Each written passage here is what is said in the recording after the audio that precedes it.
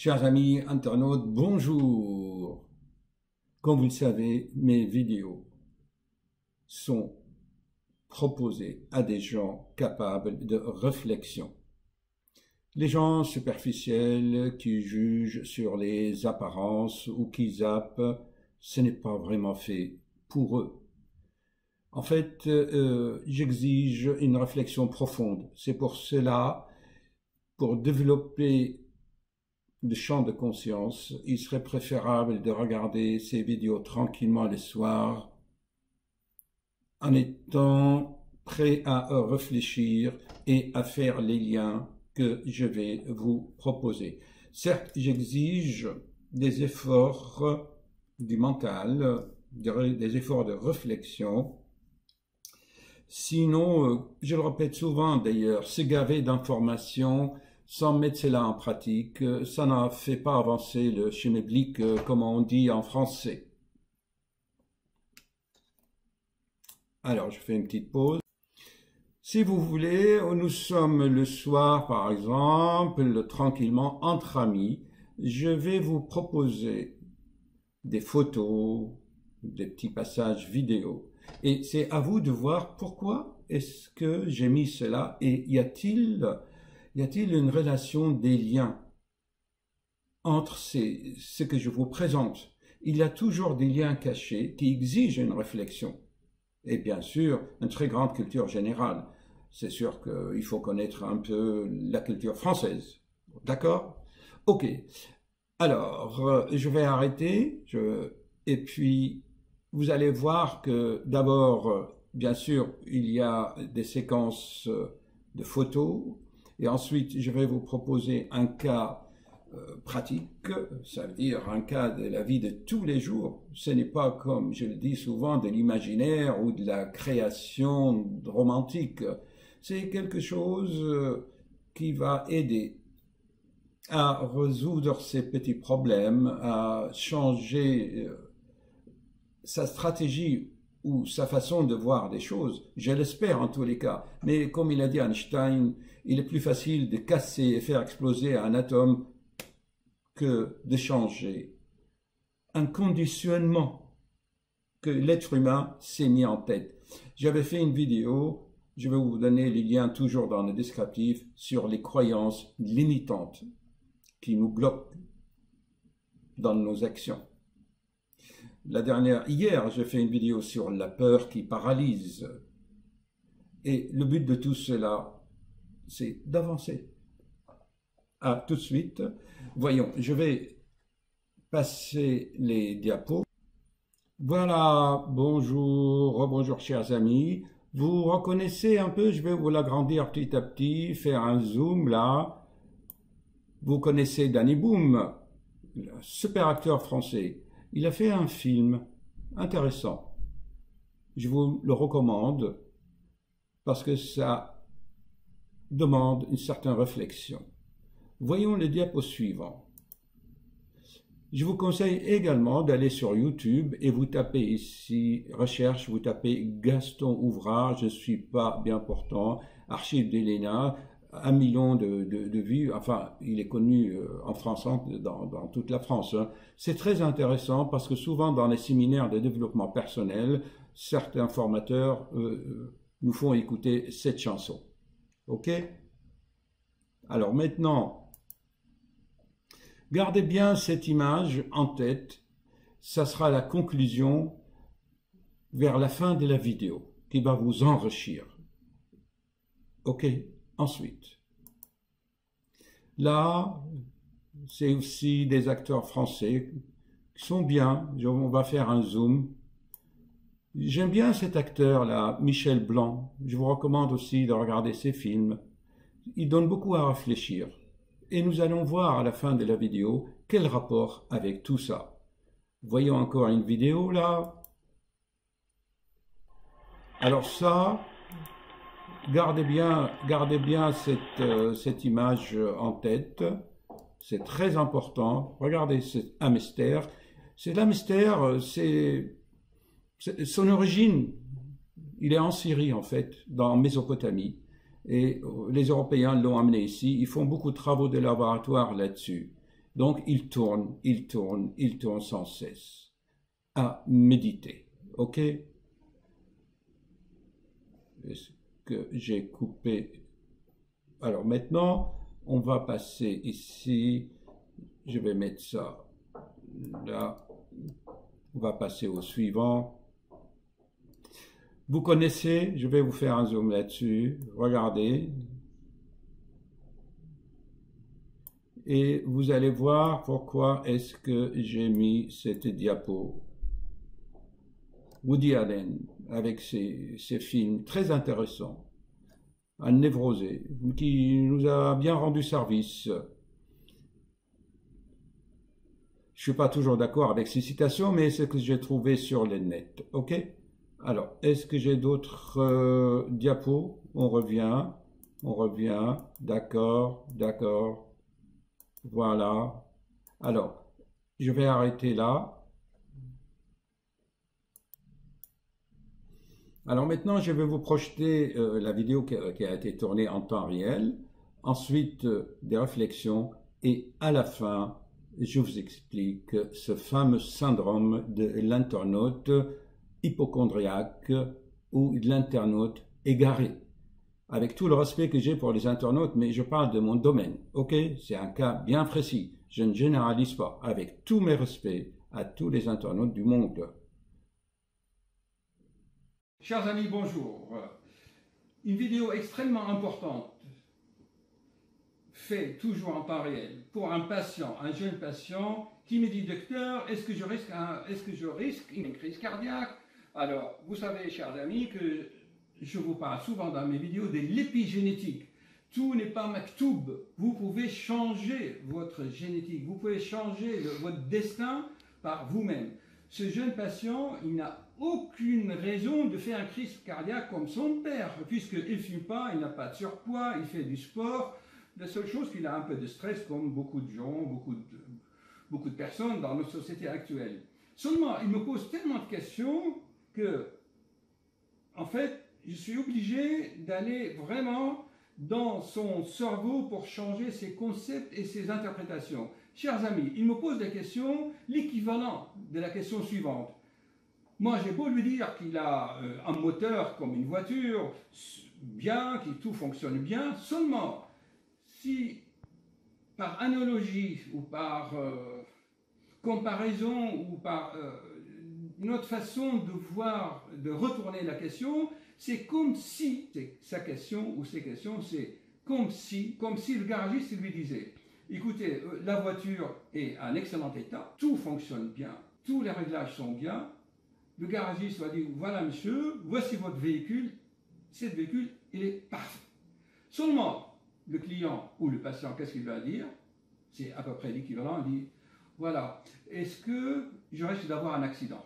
Si je roule dans cette voiture, est-ce que je risque d'avoir un accident? Chers amis, réfléchissons ensemble. Est-ce que c'est une question logique? Une minute de réflexion. On ne peut pas deviner, on ne peut pas, disons, prévoir qu'une personne va avoir un accident ou non une personne peut avoir un accident avec une vieille voiture ou avec une super voiture, qu'il soit une Mercedes, une Fiat. On ne peut pas prévoir les accidents parce que ça ne dépend pas à ce moment-là, ce n'est pas sous le contrôle, sous contrôle.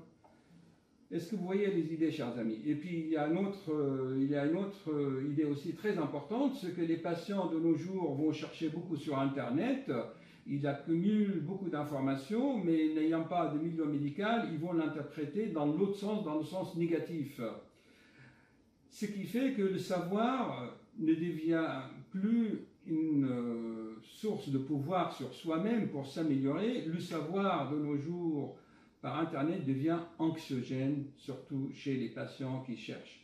Donc le savoir est à double tranchant. Le savoir peut être anxiogène ou peut être une source de pouvoir ou de guérison ou de compréhension ou de guérison. Comment on va faire pour, faire pour distinguer les deux, pour avoir plus le positif que le négatif? Eh bien, le savoir peut ne pas être anxiogène si d'abord on ne l'interprète pas et si je dois vraiment personnellement réfléchir. On arrête la vidéo pour que la reprenne.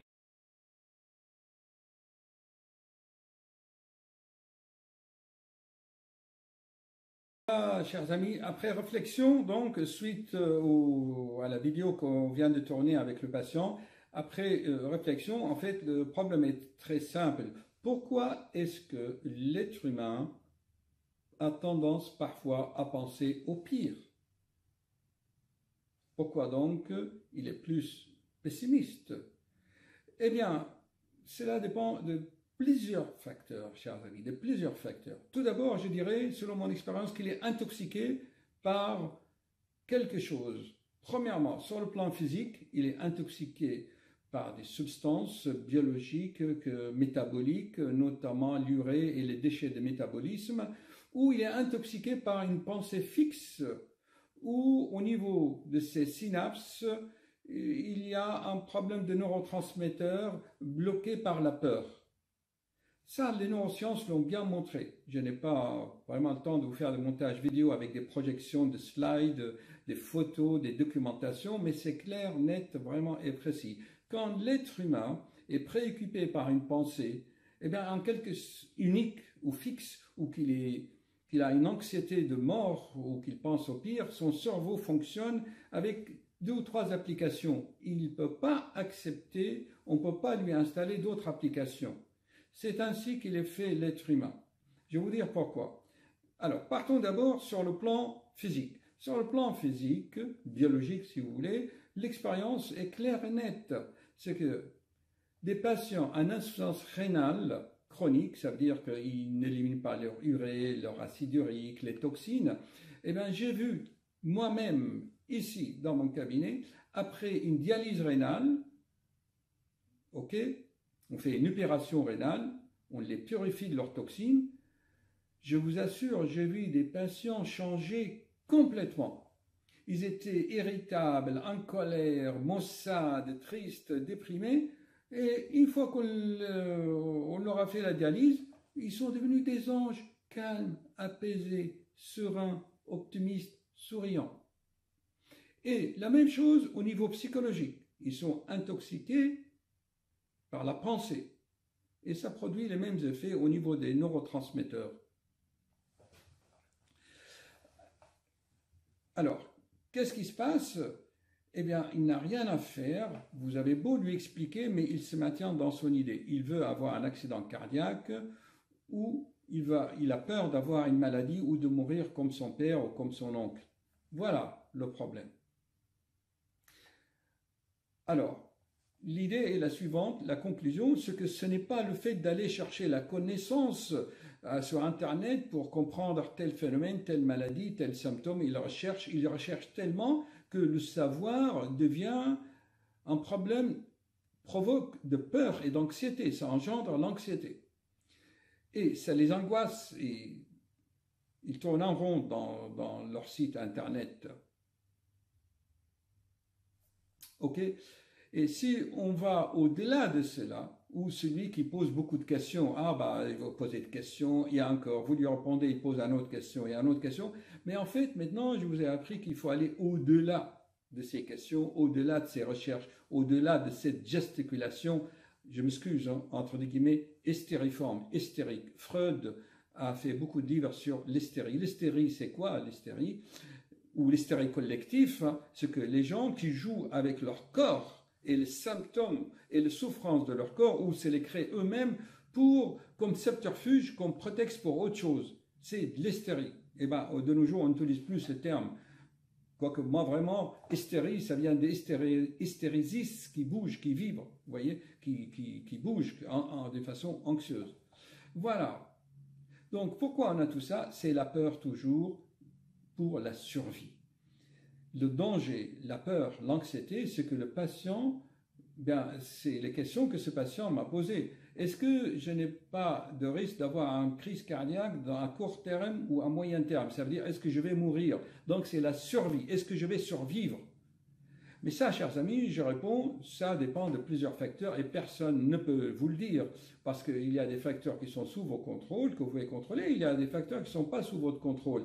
Si, comme on reprend l'exemple de la voiture, de véhicule, tout va bien, Si vous respectez le code de la route, ça veut dire que si vous avez une hygiène de vie, vous n'avez pas d'accident. Mais malheureusement, vous pouvez quand même avoir un accident puisque c'est l'autre qui n'aurait pas respecté le code de la route qui vous aurait causé l'accident, ça ne sera pas de votre faute. Donc, les facteurs sont tellement complexes. Pour le cas comme dans l'autre cas, c'est que finalement, suivant le plus grand philosophe Arthur Schopenhauer que j'aime beaucoup, qu'est-ce qu'il nous dit?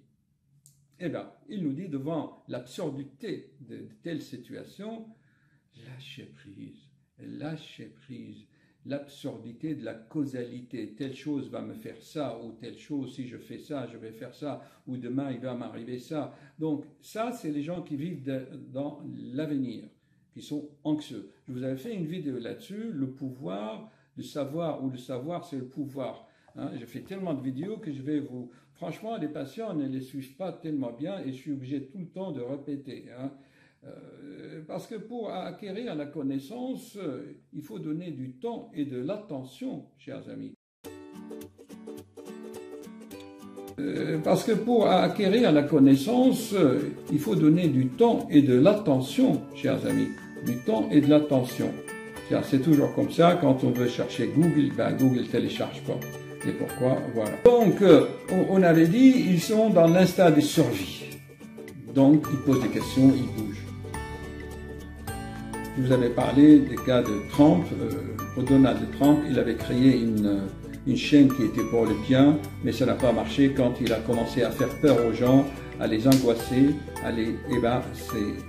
Il a été même élu. Vous voyez là, euh, chers amis, là, la vidéo, là, 100 combien? De 196. Ah, ceux qui vivent dans le passé, ils ressassent le passé, c'est des ressasseurs, ok? Ils vivent dans le passé. Eh bien, c'est des gens euh, déprimés, ils n'ont pas la joie de vivre. Quand vous n'avez pas la joie de vivre, quand vous n'êtes pas bien, eh bien, soit vous pensez euh, au passé, soit à l'avenir. Vous n'êtes pas dans le présent. vivez le moment présent, ok. Si euh, pendant trois mois, pendant une saison, vous étiez bien, c'est bon, il ne faut pas aller au-delà. Vivez la vie.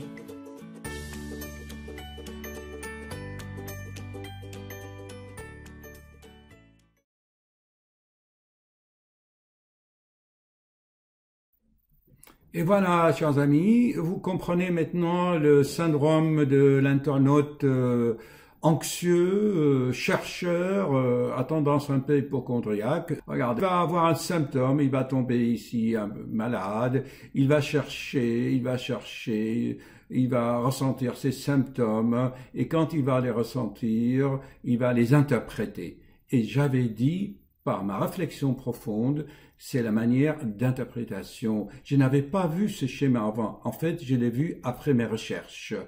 Il va anticiper, donc j'avais dit qu'il vit dans l'avenir, les anxieux venir dans les soucis de l'avenir. Il va donc porter son attention, c'est très important, et c'est l'équation d'Idriss Aberkan. Vous comprenez maintenant pourquoi j'ai mis la formule de connaissance d'Idriss Aberkan. La connaissance a besoin de l'attention et du temps. Alors l'internaute va mettre du temps, il va focaliser son attention et ça va augmenter ça, ses peurs. Il va s'exciter encore plus, il va téléphoner à tous les médecins, il va avoir les pensées positives, il va penser au pire. Alors voyez-vous maintenant, chers amis, que cette roue résume toute la vidéo et c'est la clé de ma vidéo pour les gens qui cherchent sérieusement. Je ne propose pas la connaissance dès les premières minutes et comme ça, zapper ceux qui zappent, tant pis pour eux, ceux qui zappent ils passent à côté. Alors que les trésors, les diamants sont là. Et maintenant, vous comprenez pourquoi j'ai mis les trois acteurs de cinéma. C'est typiquement cela. Alors, le sujet vient nous voir. Ah, lecteur, ça palpite, j'ai des angoisses dans la poitrine, j'ai mon rythme cardiaque qui s'accélère, il est crispé, il, euh, voyez, ils ont les épaules remontées, il serre la mâchoire ici, il transpire, il est anxieux, il dort mal, soit il est constipé, soit il a la diarrhée, et on le voit trembloter quand ils vont faire quelque chose. Et voilà, on retrouve ici nos amis et vous retrouvez les liens cachés entre ces photos. Euh, Danny Boom c'est vraiment le clown triste, que j'appelle le clown triste anxieux. Ça n'empêche pas que ces phénomènes dévoilent ses talents. C'est l'anxiété existentielle de la survie qui fait, vous fait éclater vos talents. Alors, est-ce que je vais trouver les autres? Allez, il est où? Là aussi, c'est l'hypochondriaque, pire, l'hypochondriaque, il va répéter cette chanson et c'est mécanisme, le mécanisme de la roue. Là aussi, Michel Blanc, Michel Blanc, c'est vraiment le grand hypochondriaque que que, que j'aime bien parce que ils ont des talents, ils ont des talents nos acteurs. Et là, c'est l'obsession, ils tournent toujours la même pensée, la pensée fixe. Mais lui, il le fait pour le bien, pour développer ses muscles, alors que l'être humain fait pour le mal. Et ça aussi, vous voyez bien que l'hypochondriaque, quand il a orienté ses énergies dans le bon sens, il devient créateur et pas, il tombe pas dans la maladie et l'angoisse. Il s'excite, il s'agite, il perd son énergie en téléphonant à tous les toubibs. Avec Oudu Alan, chers amis, je vous dis au revoir et pensez à lâcher prise. Pensez à notre ami Arthur Schopenhauer. Lisez son livre, c'est très intéressant. Et n'oubliez pas notre ami Anthony Robbins, je vous en avais parlé. Et surtout, n'oubliez pas d'aller danser. Bougez.